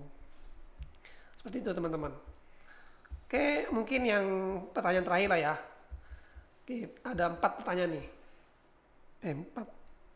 Ada lima. Ada lima nih. Gak apa-apa lah ya, lima ya. Oke, yang pertama dari John John Doe, John Do mungkin ya, John Do. Sebagai teknologi yang baru, gimana prospek ke depan buat bahasa Go? Atau akan sama seperti bahasa lainnya yang semakin lama semakin lemot? Kemudian dari Muhammad Irfan.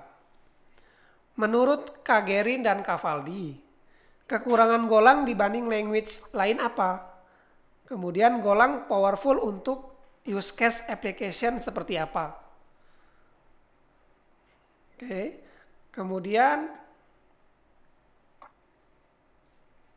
eh mungkin dua dulu deh. Dua, dua kita dua dua deh, dua dua biar ini, biar imbang lah dua dua. Mungkin bisa dijawab dulu. Boleh Gerin, boleh Valdi.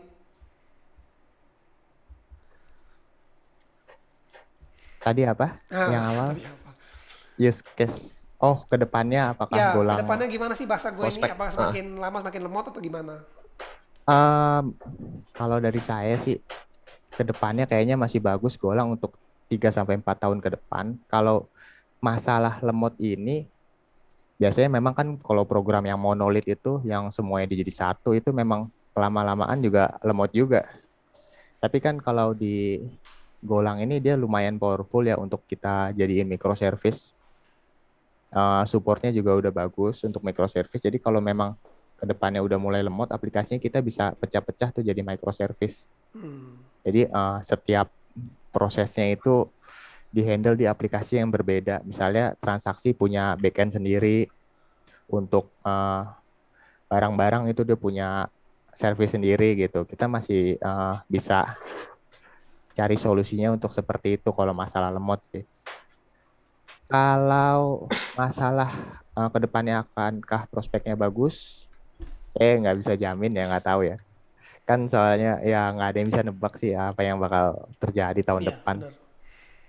Nggak tahu ya. Cuman dipelajari aja nggak apa-apa. Cuma nanti kalau memang ada bahasa baru yang memang sangat populer itu eh, pindahnya gampang sih. Kalau memang udah menguasai satu bahasa pemrograman. Kalau dari saya mungkin itu. Terima kasih udah bertanya. Oke. Eh, yang terakhir tuh dari Muhammad Irfan. Kekurangan golang. Tadi kan kita udah bicara kelebihan-kelebihan golang tuh. Kira-kira kekurangan golang apa sih dibanding bahasa yang lain? Ini malah nanya kekurangan ya. Oh, Oke, boleh, boleh jawab. Oke. Eh, Boleh Gerin, boleh. Fadli. kekurangan. Kekurangan. Kan setiap bahasa ini pasti ada kekurangan dan kelebihannya. Tadi kan kita bahas Pasti, kelebihan-kelebihannya. Nah, kira-kira golang ini punya kekurangan nggak sih? Kalau eh, mungkin ini lebih ke aku pribadi sih. Jadi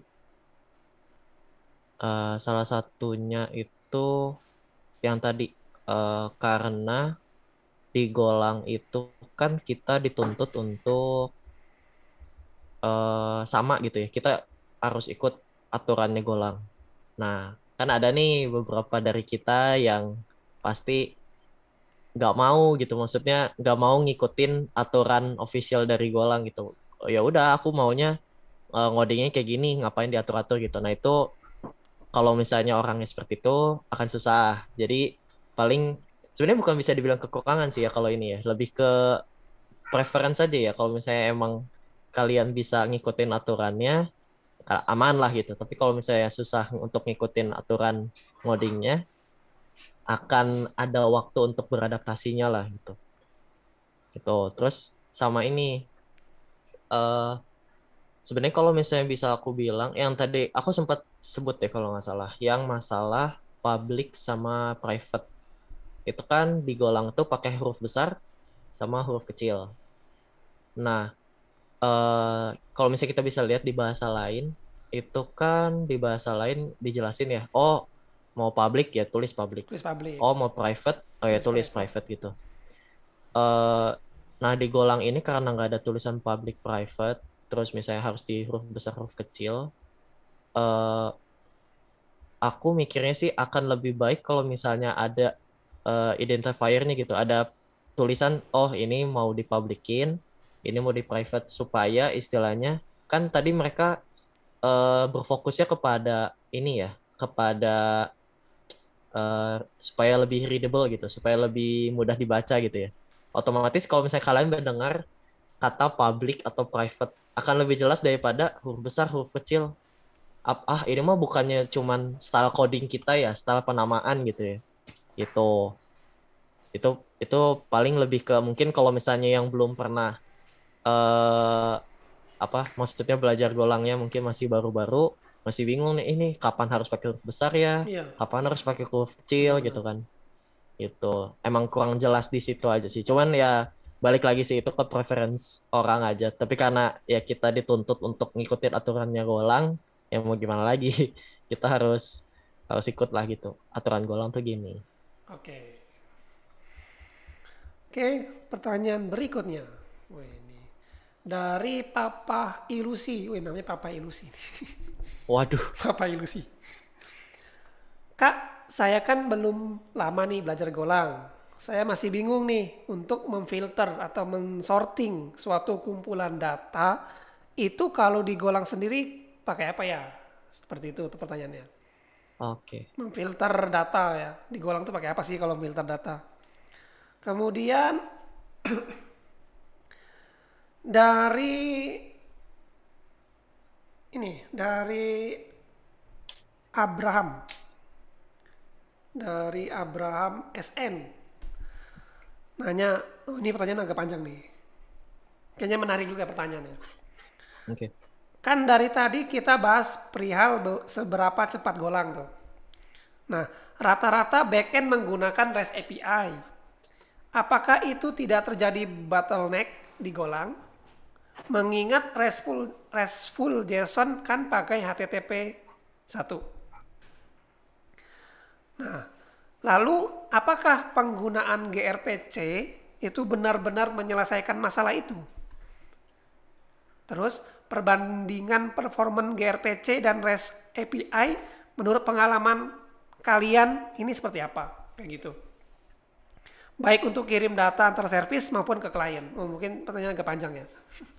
Oke, mungkin boleh jawab dulu deh dari teman-teman. Papa Ilusi. Papa ilusi. Nah, ganti nama dia. Gerin apa aku? Oke. Tanya dulu ya, mungkin yang ini filter kumpulan data itu pakai apa? Oh, Avaldi aja deh kalau gitu. Oh, eh, kalau misalnya kalian eh, belajarnya dari, aduh Python gitu ya kalau nggak salah ya, atau oh JavaScript deh, gampangnya Oke, JavaScript. JavaScript. JavaScript kalau misalnya kalian eh, aku spesifik ke React.js misalnya. Di React.js tuh kalian ada function untuk misalnya eh, kalian punya array terus dot filter atau dot sort. Gampang kan? Oh, Tapi iya. kalau di Golang eh, di Golang ini eh, nggak ada yang kayak gitu-gitu. Eh, bawaannya ya, aku lagi ngomong bawaannya ya, bukan eh, framework dari punya orang gitu. Bawaannya, secara bawaannya, Golang tuh nggak punya. Jadi kalian harus eh, manual. buat sendiri. Kalian for loop dari array-nya. Iya. Terus kalian kalau misalnya mau filter, ya udah kalian filter misalnya eh, cuman mau ini, kalian tentukan aja. Misalnya if datanya apa atau datanya seperti apa atau tipenya apa. Itu nanti kalian misalnya eh, return. Jadi jawabannya sih manual gitu. Jadi em- emang emang emang kalau di Golang tuh harus manual kalau untuk masalah filter atau sort gitu. Emang nggak ada eh, built-in function istilahnya. Nggak ada built-in function. Oh, array-nya misalnya kumpulan angka misalnya namanya itu. Nggak ada kumpulan angka dot sort atau dot filter atau dot apalagi itu itu nggak ada. Jadi emang emang harus manual. Itu. Oke, mungkin bisa Jadi- ter- apa? Terjawablah pertanyaan dari Papa Ilusi. Papa Ilusi. Oke, pertanyaan berikutnya tadi hmm, mau diulangin nggak? Eh, itu ya yang Yang HTTP ya. Panjang ya. HTTP. Oke. Eh, kalau kita ngomongin bottleneck sih enggak ya. Maksudnya kalau ngomongin bottleneck itu lebih sering kejadian bottleneck ketika kita ngambil data ke database daripada bottleneck eh, HTTP REST-nya. Nah, eh, dan biasanya pun kalau memang bottleneck itu masih di bawah batas normal sih. Kalau memang eh, request-nya udah lemot banget kayak gitu, biasanya bukan di HTTP-nya yang jadi masalah, tapi di desain aplikasinya sendiri yang yang terlalu blocking atau ngambil database-nya itu yang lama, query-nya nggak nggak nggak inilah nggak maksimal, bebannya berat tuh query-nya.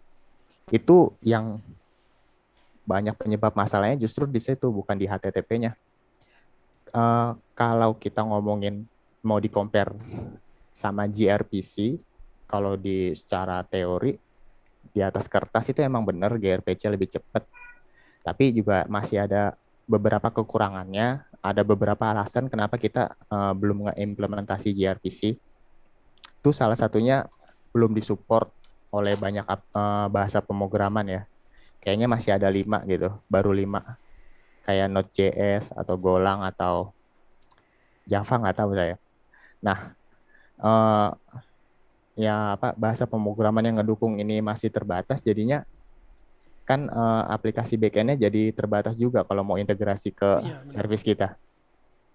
Hanya hanya bahasa pemrograman tertentu aja yang bisa connect ke aplikasi kita kalau pakai gRPC. Untuk dukungan middleware-nya pun masih masih maksimal di HTTP REST HTTP sih. Oh, Gitu. Heeh. Di gRPC belum terlalu maksimal. Jadi kalau ngomongin apakah bottleneck, Eh, bisa jadi, tapi biasanya bottleneck-nya itu bukan di HTTP-nya, tapi ketika akses ke database tuh, atau ketika logiknya itu terlalu muter-muter ya. Hmm. HTTP-nya sendiri nggak masalah. heeh. Iya. Kalau Perbandingan performance nih antara pakai gRPC sama enggak. ya lebih kenceng gRPC kalau itu. Tapi kalau backend-nya kita pakai gRPC, apakah aplikasi mobile-nya bisa akses? Apakah udah disupport gitu loh? Oke. Apakah Kotlin atau Java udah mensupport gRPC untuk connect ke backend kita kan? Itu jadi eh, pertimbangan lagi. Jadi enggak dari sisi backend juga ya, dari sisi mobile juga harus support juga ya gRPC itu. Iya, kalau memang mau pakai gRPC. Kalau memang HTTP-nya bottleneck gitu katanya. Hmm, Jadi gitu ya dari saya. berarti pernah pakai gRPC juga nggak, eh, Gerin atau Valdi dalam Pernah, Oh, pernah. Tapi eh, gRPC-nya itu lebih ke antar microservice aja sih. Oh, antar microservice aja. Heeh, untuk ke front end website Ke ya? atau ke klien itu pakainya HTTP REST. Heeh. Oke. Oke, mungkin itu eh, Abraham. Semoga terjawab ya. Sebelum lanjut pertanyaan berikutnya, saya mau ngingetin nih bagi teman-teman semua di sini, nanti di akhir sesi kita akan kasih link feedback nih. Nah, link feedback feedback ini nanti diisi buat teman-teman dapat e-certificate. Kayak gitu. Jangan lupa nanti di akhir sesi ya, di akhir sesi kita akan kirimkan atau atau kita akan tampilkan barcode-nya. Nah, ini syarat untuk mendapatkan e-certificate. Oke, pertanyaan berikutnya. Masih masih boleh kan ya? Gerin, Valdi, tanya. Boleh lah ya. Oh, Gas terus sampai pagi. nggak nggak nggak sampai pagi juga sih, Ger. Oh. Oke, ini ada lagi nih. Eh, anoni- anonimus kedua, bukan anonimus kedua. Oke. Menyambung pertanyaan John Du. John Du tadi nanya prospek ke depan ya. Hmm. Hmm. Dia nyambung nih. Apakah di real case-nya Golang menggunakan library seperti Node Modules? Eh, ini Node.js ya. Yang terkenal cukup me- memberatkan project. Ini maksudnya Node Module itu mungkin ter- terkenal memberatkan project ya. Nah, apakah real case-nya Golang menggunakan seperti itu? Ada penggunaan library juga yang membuat ini berat projectnya gitu. Kemudian ada lagi nih dari Joki Skripsi. Wah, namanya Joki Skripsi. Joki Skripsi. Kalau begitu, kalau saya punya data banyak banget untuk mempercepat filternya bagaimana, Kak? Oh. Terus yang ketiga, tiga pertanyaan nih. Kalau pernah belajar Python, susah nggak untuk adaptasi ke Golang? Nah, mungkin itu pertanyaannya, boleh dijawab. Eh, aku coba jawab dikit kali ya. Eh, untuk yang Jawabannya real juga boleh, case Golang. Oh, oke, oke. Eh, ya, kalau untuk di real world kita bikin aplikasi Golang, misalnya kayak di perusahaan-perusahaan gitu, eh, kebanyakan nih ya, kebanyakan ya, atau misalnya aku boleh ngomong spesifik ngebuat satu library khusus untuk link aja. Jadi kita punya li- library internal. Eh, kalau misalnya kalian kenal istilah wrapper, jadi kita wrap dulu tuh eh, function-function atau misalnya kita buat function-function yang tadinya misalnya banyak, kita buat jadi satu package, jadi satu repo. Itu tinggal diambil lagi sama kita eh, untuk dipakai di eh, dipakai di repo yang lain misalnya gitu. Jadi kalau misalnya dibilang gunainnya besar atau enggak, itu sebenarnya optional. Kalau emang kompleks, biasanya ada yang udah nyediain eh, misalnya kayak kan Golang tuh punya package HTTP. Aku ambil contoh HTTP misalnya. Golang tuh punya package HTTP, tapi ada yang ngebuat eh semacam HTTP juga framework HTTP juga namanya misalnya ada Echo, ada Gorilla Mux, ada Fast HTTP, ada ada banyak lah gitu ya. Dan ini semua tuh tujuannya mereka bukan untuk memberatkan. Justru kalau misalnya dipakai uh, malah performance-nya bakal lebih cepat uh, terutama untuk Echo sama Fast HTTP kalau nggak salah. Tuh, uh, pokoknya masih ada banyak lah untuk framework dari yang lain. Uh, jadi kalau misalnya dibilang akan memberatkan programnya atau enggak, uh, kalau misalnya kebanyakan ya pasti bakal berat sih. Cuman uh, gunakanlah seperlunya lah gitu maksudnya. Terutama kalau misalnya kalian kalau misalnya udah ke perusahaan-perusahaan emang yang besar gitu ya nama-namanya, pasti mereka punya uh, wrapper atau library-nya sendiri. Mereka pasti ngebuat punya internal. Soalnya kalau udah masuk ke perusahaan tuh kalian pasti butuh yang misalnya aduh aku butuh spesifik untuk function ini misalnya aku butuh spesifik untuk ini. Dan itu kadang nggak bisa kita temuin di Google. Kita nggak bisa temuin di Stack Overflow yang gitu-gitu nggak ada biasanya gitu. Oke. Terus apalagi tadi ya? Oh mempercepat filter. Uh, kalau dia mempunyai data yang banyak banget katanya. Data yang banyak. Kalau untuk filter sendiri tips dari aku sih paling ini uh, kalau misalnya emang filternya itu filter apa dulu? Kalau filternya emang kondisi yang dibutuhkannya itu banyak uh, usahakan jangan menggunakan kata else.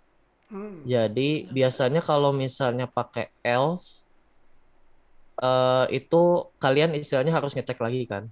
Makanya uh, sebisa mungkin kalian kalau misalnya lagi buat program else itu eh, nggak tahu sih ini best practice-nya Go ya. Kalau aku baca-baca else itu memang kalau di Golang tuh jarang dipakai. Jadi cuman if if if aja gitu. Hmm. tapi memang sebenarnya cukup ke kebutuhan apa balik lagi ke kebutuhan sih. Kalau misalnya untuk mempercepat filter sih balik ke algoritmanya aja ya. Maksudnya oh. pas kita lagi pas kamu lagi mau ngefilter kalau memang uh, data banyak plus kamu harus ngefilternya spesifik banget misalnya harus itu. Eh salah. Kalau misalnya kamu ngefilternya nggak spesifik itu yang bikin lama. Tapi kalau kamu filternya spesifik itu bakal lebih cepat. Gitu sih. Oke. Mungkin bisa terjawab ya mungkin Gerin bisa nambahin atau gimana? Um, tadi masalah uh, modul ya? Ya Node modules kalau di Node.js kan, apakah di Golang itu ada juga library yang memberatkan project? Hmm, kayaknya enggak sih. Untuk mulai program Golangnya sendiri itu nggak nggak perlu download library-library apa aja udah ada bawaannya dari Golang sendiri. Dan biasanya itu kan udah ada di ini ya file gomotnya ya apa link-link dari dependensinya. Jadi walaupun hmm. di upload ke GitHub atau dipindah-pindahin itu size-nya kecil. Nanti cuman ketika kita jalankan programnya dia pasti download modul dulu. Cuman uh, sepanjang saya pakai Golang nggak pernah download modulnya yang sampai di atas 5 menit ya. Atau maksudnya uh, size-nya nggak pernah lebih dari 30 MB dari modul-modulnya. Ya enteng lah kesimpulannya. Hmm, Oke. Jadi nggak terlalu berat lah ya Paling mm -mm. paling besar berapa sih kalau Golang itu kalau lo jadi aplikasi? Kan kalau misalkan segede-gedenya itu kan bisa nyampe 500 MB ya. Saya pernah itu. Ya. Karena kan itu ada not modulisnya kan. 100 MB ya, segede-gedenya program ya. Oh, 100 MB ya paling besar ya? Ya enggak juga. Kalau hmm. Google kan nah, bisa satu nah, ya, giga. Paling kita kalau ini kan pertanyaannya ya pertanyaan dari anonimus kan membandingkan ya. Oh, Oke. Okay. Oke. Tadi aku kalau nggak salah ingat ada yang ngomong kalau dari Python itu ya, ya. yang ada topsi. Ini sama nih pertanyaan ini ah. sama Kenneth Kenneth T. Kayaknya kayaknya Kenneth. namanya sama deh, Anonymous sama Kenneth. Oh, Kenneth Kenneth YouTuber. Ah ya, ya salah. Oke. Okay. Uh, eh, dari Python itu susah kalau sih? dari kalau Python uh, kalau misalnya memang udah belajarnya awalnya Python, kalian bakal asing sama yang namanya uh, kurung kurawal. Oh, kurung kurawal. Itu itu kalian bakal asing. Soalnya kalau misalnya kayak tadi kalian misalnya kalian untuk definisi sebuah function aja ngebuat function.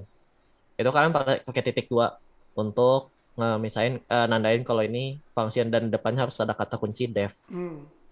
Terus di Python juga indentasi sangat sensitif gitu kan di Python tuh.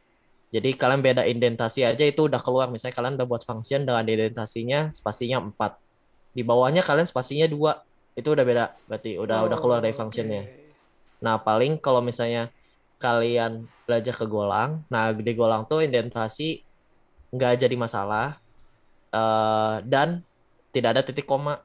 Jadi setiap akhir baris itu ya udah kosong aja gitu. Jadi paling kalian cuma perlu adaptasi adaptasi itu aja sih. Oh uh, adaptasi-adaptasi sintaks. Dan kalau untuk aku pribadi nggak terlalu gimana banget kali ya. Nggak terlalu susah lah untuk dari Python ke Golang harusnya sih. Harusnya ya. Ini lebih membiasakan lah ya antara inden inden paling ya. iya oh. indentasi tadi karena uh, di Python itu pengaruh ya inden inden itu pengaruh hmm, ya. sangat hmm. sangat ngaruh. Setahu aku sih sangat ngaruh. Jadi emang karena di Python kan nggak ada sistem kurung kurung awal tadi kan. Oh iya tapi kalau titik koma kayak sama-sama nggak pakai ya kalau Python sama titik Golang. koma sih Python setahu aku nggak ada ya. Sama okay. di Golang. Di Golang sebenarnya kalian bisa kasih titik koma, tapi nanti kalau misalnya kalian jalanin Go FMT yang tadi aku jelasin, itu bakal dihapus otomatis sama dia. Oke. Okay. Itu.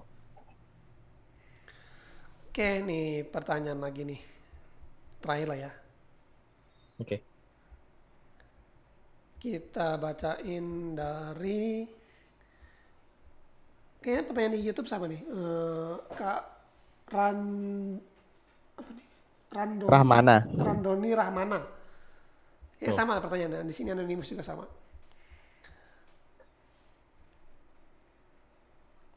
Hmm, pertanyaannya itu ya sebelum saya bacain teman-teman ini ya nanti di akhir sesi kita ada link feedback teman-teman silakan isi. Itu syarat buat teman-teman dapat e-certificate. Kayak gitu. Jangan lupa tetap stay tune ya di ini di YouTube. Karena nanti di akhir sesi ada link feedback yang harus teman-teman isi. Oke pertanyaannya adalah kak kalau digolong kan ada pointer. Ya kan? Nah itu jadi PR sendiri buat yang di bahasa sebelumnya nggak pakai pointer. Nah, cara tahu kita harus kapan pakai pointer sama enggak itu kapan ya dan gimana ya? Oke. Okay. Gitu pertanyaannya. Avaldi mau jawab atau gimana? Aku uh, dikit aja sih. Uh, tadi kan pertanyaannya berarti kapan pakai pointer, kapan enggak gitu ya? Mm -hmm. Ya, pointer. Kalau kalian memutuskan untuk pakai pointer, uh, berarti kalian tuh mau mengubah uh, datanya tapi dari uh, istilahnya apa ya dari function lain atau dari package lain gitu. Karena kalau misalnya berarti ini yang nanya harusnya udah tahu sih. Uh, udah master. ada yang namanya iya ini harusnya udah tahu sih. Uh, ada yang namanya call by value sama call by reference kan. Mungkin nah. Mbak Ramana ya Mbak Ramana Mbak apa nah, mas nih? Mbak ya? Wah, nggak tahu nih. Nah, jadi kalau misalnya memang kalian membutuhkan untuk uh, mengubah value-nya, itu lebih baik pakai pointer. Tapi kalau misalnya kalian hanya butuh nilainya aja dan nggak akan diubah-ubah, itu nggak usah pakai pointer. Okay. Soalnya, uh, ini Gerin kalau nggak salah ada jawaban nih kayaknya untuk pointer nih uh, kita ambil case-nya aja ya. Uh, biasanya ini sering kejadian ketika kita connect ke database, itu kan kita ngebuat uh, sebuah objek dulu ya dari misalnya connect ke database nanti kan data balikannya itu kayak struct ya. Yeah. Model objek gitu. Kalau kita nggak ngambil data pointernya gitu, pointer ke struct itu, itu nanti dia akan ketika kita manggil ke database itu akan selalu bikin struct baru yang mana dia uh, akan jadi banyak koneksi ke database. Itu nanti akan bikin database-nya inilah kebebanan. Ada case-case kayak gitu karena nggak pakai pointer. Jadi solusinya apa? uh, ya kita ketika bikin koneksi ke database itu ya kita ngambil apa ya data pointernya ke objek itu biar nanti ketika kita mau ada komunikasi dengan database pakai itu aja. Kena, kenapa pointer? Karena uh, dia akan apa ya selalu menunjuk ke objek yang itu. Waduh, ini kalau ngomongin ya, pointer menunjuk. bahasanya susah juga kalau nggak ada visualisasi. menunjuk ke alamat yang sama lah, ayo alamat ya. apa lagi? Menunjuk ke objek yang sama terus gitu. Ini biasa pasti akan dipakai ketika kita mengaplikasikan single singleton design pattern ya. Sing, nah, desain pattern kan ada banyak tuh untuk uh, uh, uh, ngedesain aplikasi backend.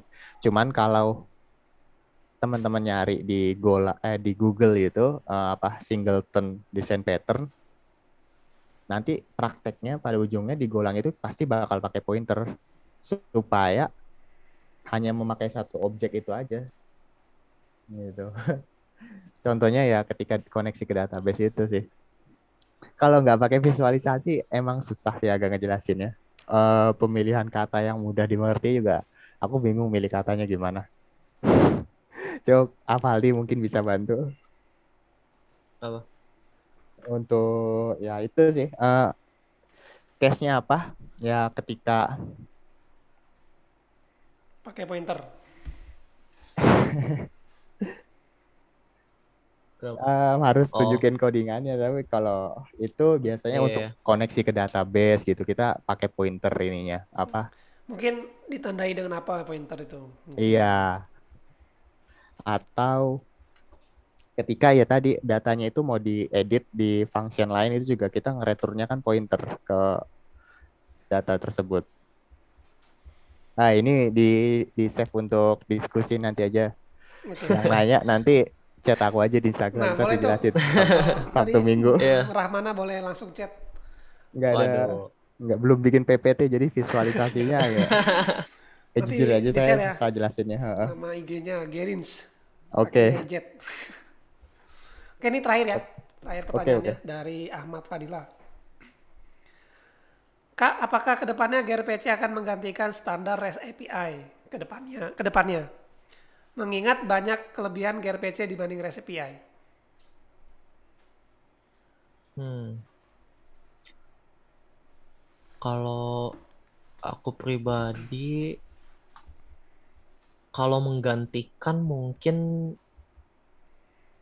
enggak kali ya. Soalnya uh, gimana ya? Soalnya gRPC itu uh, beda sama REST API. Kalau REST API kan kita mengaksesnya itu lewat sebuah endpoint ya. Sedangkan gRPC dari namanya aja RPC Remote Procedure Call kan kita manggilnya berarti sebuah prosedur, manggilnya sebuah function. Jadi emang istilahnya udah beda gitu ya. Walaupun memang kelihatannya gRPC itu lebih cepat, tapi kalau misalnya klien kita nanti dia tidak punya akses untuk ke gRPC-nya, ya berarti masih lebih bagus pakai REST API gitu. Masih lebih cocok makanya kenapa kalau untuk sekarang uh, eh, gRPC itu digunakan tadi sesuai yang Mas Gerin bilang digunakannya itu hanya berkomunikasi antar microservice, antar service-service kecil. Okay. Karena service-service kecil ini ya mereka cuma butuh data terus komunikasi aja gitu kan. Tapi kalau misalnya kalian eh misalnya si aplikasinya udah uh, udah selesai nih komunikasinya terus mau di expose keluar datanya, biasanya sih pakai REST API untuk expose datanya. Mungkin Gerin ada yang mau ditambahin? Mungkin pertanyaan tadi sama ya, um, Abraham tadi. Iya mirip. Kalau ngomongin ke depannya terus saya juga masih kurang paham ya. Cuman kalau memang tahun depan misalnya atau 10 tahun lagi gRPC itu akan populer ya tinggal dipelajari karena kan iya. kita sebagai back end developer tuh tantangan terbesarnya itu harus selalu siap belajar teknologi baru okay. gitu loh itu aja sih dari saya oke okay.